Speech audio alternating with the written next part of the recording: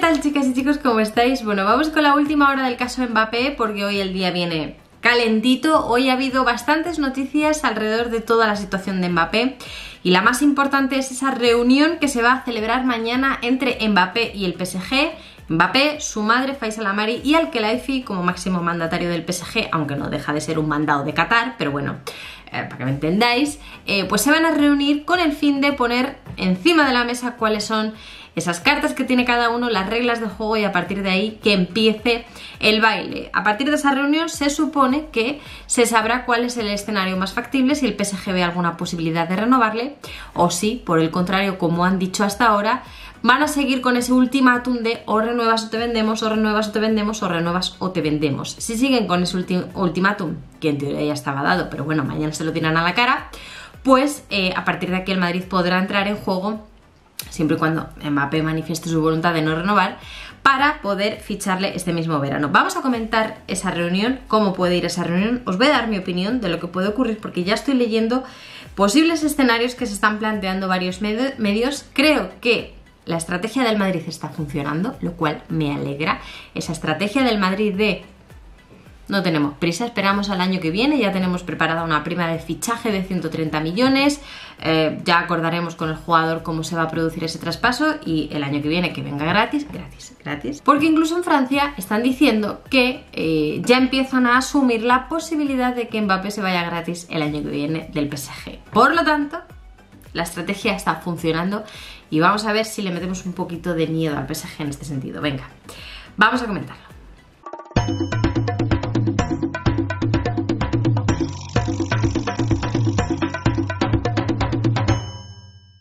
Bueno, pues sí, antes de ir con esa reunión, también me parece un bombazo, lo anuncia Marca, es una reunión que se va a producir entre el PSG y Mbappé mañana.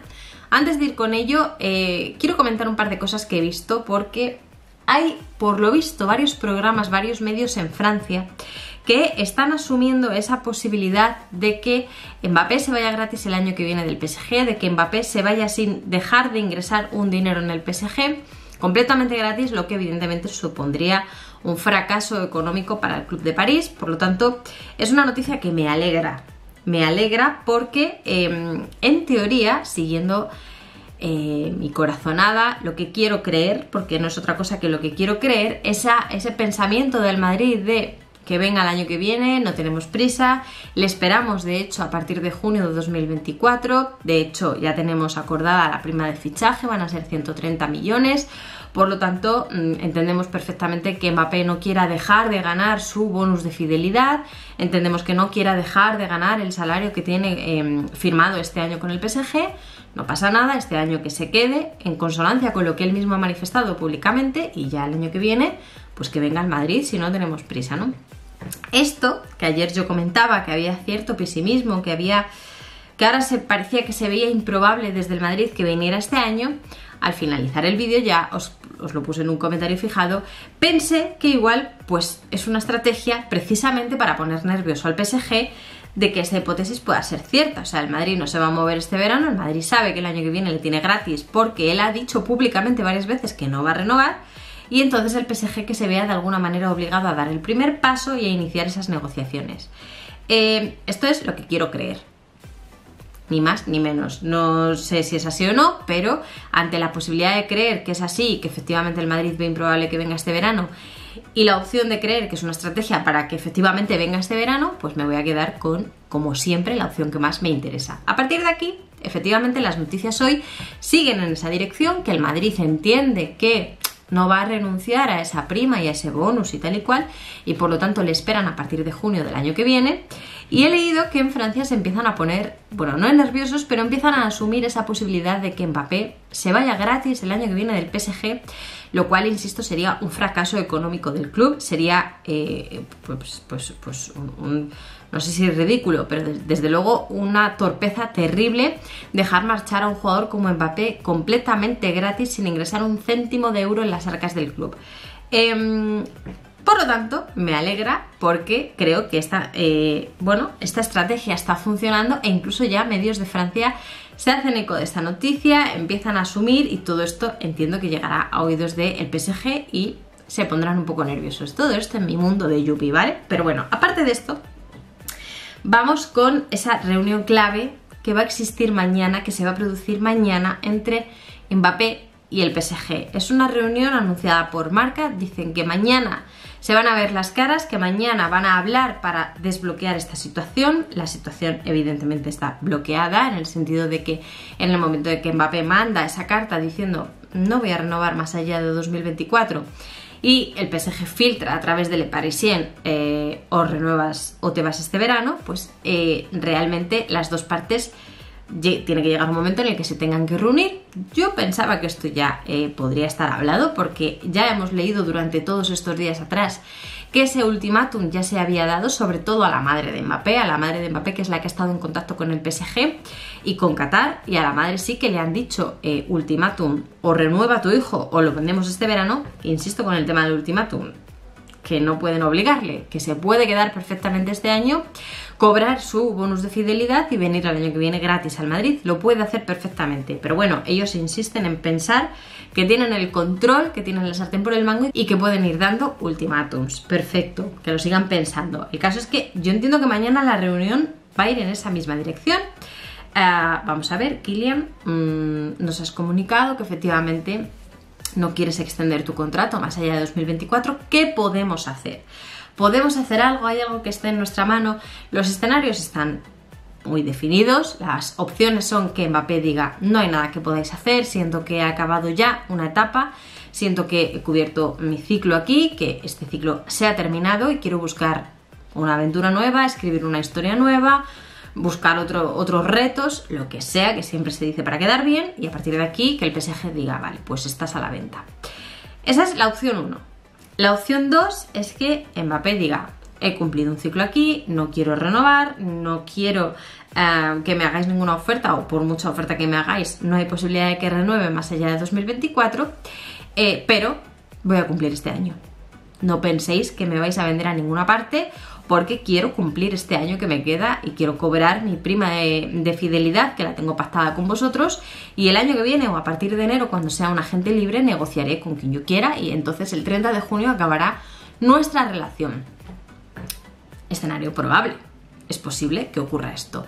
El miedo que me da de este escenario, porque del escenario 1 está todo perfecto. El escenario 1 es, Mbappé dice que no, quiere, que no quiere renovar, se mantiene en su idea, el PSG ve que no hay nada que hacer, lo pone a la venta y ahí entra el juego el Madrid. Este es el escenario ideal para todos, sin duda alguna. En el escenario número 2, en el que Mbappé dice no voy a renovar, pero me voy a quedar el año que me queda porque quiero cobrar, yo veo serios riesgos, muchísimos riesgos. O sea, yo que se quede un año más, aunque no renueve, aunque no renueve, que se quede un año más porque quiera cobrar su prima y luego su prima de fichaje, que está en su derecho, pero que se quede un año más, un año es muy largo en un año pueden pasar muchas cosas. Y hoy dice que no quiere renovar, pero de repente pasa algo o hay una inyección de dinero o algo y donde te ofrecí tanto, ahora te ofrezco tanto más. Y al final te convenzo por un lado, te convenzo por otro y acabas renovando. Es que lo veo, es que lo veo venir. O sea, si no se hace este año lo de Mbappé, yo tengo mis serias dudas de que el año que viene eh, este chico esté libre e incluso estando libre nos podemos plantar en mayo, junio y que vuelva a ocurrir lo del año pasado, que al final el, PSG se busque la manera de terminar convenciéndole. Fracaso, fracaso total, fracaso estrepitoso para el Madrid. Tercer escenario, que haya dicho que no quiere renovar, le ofrezcan mm, Qatar, Qatar, ponemos Qatar a tu nombre y que diga, vale, me quedo y renuevo. De hecho, he leído algo por ahí, también en marca, que em, dicen que ven probable el escenario de que em, Mbappé y el PSG acuerden una renovación para eh, poder venderle, con el compromiso de venderle el año que viene para que eh, el PSG pueda recibir dinero de este traspaso. Es decir, pactarían una renovación de no sé cuántos años para que el año que viene, con el compromiso de que el año que viene el PSG le venda y así el PSG poder ingresar. A mí esto no me cuadra, no me cuadra por una sencilla razón, por dos. Uno, que si quieren ingresar dinero por él, le pueden vender este año. O sea, si el miedo que les da es eh, no ingresar dinero por él, pueden hacerlo este año, están a tiempo. O sea, no es que hayan perdido la oportunidad, no es, no es que ahora mismo ya sea un jugador libre, no es el caso, pueden venderle este año e ingresar dinero por él. Y dos, eh, que si Mbappé contemplase esa opción, habría, eh, por lo menos se habría callado. No habría dicho no voy a ampliar mi contrato más allá de 2024, no me voy a ir a 2025. De momento no habría dicho nada, ¿no? Entonces es una opción que ya han tenido Mbappé, la de ampliar un año más el contrato y no la ha hecho, no la ha llevado a cabo. Por lo tanto ahora que, se contemple como una, como una posibilidad, a mí me suena muy raro. Insisto, si lo que quiere el PSG es sacar dinero del traspaso de Mbappé, lo puede hacer este mismo verano. Lo tiene a huevo, lo tiene, vamos, en bandeja. Eh, pero bueno, yo esto de que, vamos, si renueva un año más, o dos, o tres, o cinco, ya me daría igual, el tiempo que sea, con el compromiso de que me da igual también, al final eh, ya entramos, eh, o sea, ya estamos en un bucle, ¿vale? El Madrid ya hemos entrado en un bucle, ya nos tienen bailando, esto es así, nos tienen a todos bailando y a Florentino parece el primero.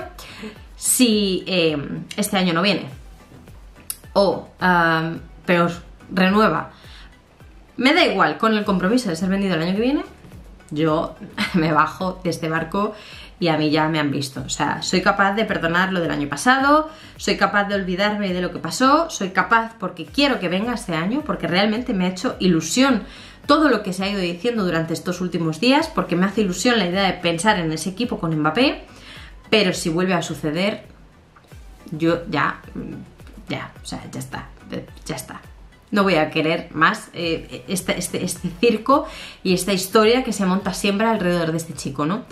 Por supuesto, si al final acabase viniendo dentro de tres años eh, y se hincha a meter goles, lo voy a celebrar porque soy del Madrid, soy madridista y quiero que el Madrid gane siempre. Pero, pero como, como, como sucede alguno de estos escenarios en los que Mbappé está que sí, que no, que ahora renuevo, ahora me voy a poner a renovar porque me han ofrecido no sé cuánto, está en su derecho, eh, siempre lo voy a decir, está en su derecho de renovar, de irse, a hacer lo que quiera. Pero otra vez utilizar al Madrid para conseguir un contrato mejor, ya no. O sea, lo puedes hacer una vez, lo puedes hacer dos veces, ya tres no. Ya está, ya está. Entonces, bueno, vamos a ver qué pasa mañana. Mañana tenemos un vuelo previsto, Mancuer y yo, de tres horas y media Malo será que nos pille la noticia en el vuelo, ¿no? Malo será que nos pille sin cobertura. Espero, por favor, enterarme de todo. Eh, de hecho, en cuanto pueda tener cobertura, voy a ver qué está ocurriendo. Pero bueno, vamos a ver qué va pasando. Por supuesto, en cuanto sepa algo, mm, subiré vídeo dando mi opinión, porque entiendo que mañana ya se van a filtrar cositas. Y daré mi opinión, pero realmente espero que él se mantenga firme y que diga, si queréis sacar dinero de mi venta, esta es vuestra oportunidad, es vuestro momento. Yo me quiero quedar, pero si queréis sacar dinero, ponedme a la venta, hablad con el Madrid y ya está, ¿no? Eso sería para mí lo mejor. Pero bueno, mañana sabremos más cosas y ahora quiero saber vuestra opinión. ¿Qué opináis vosotros? ¿Qué os parece? ¿Qué sensaciones tenéis?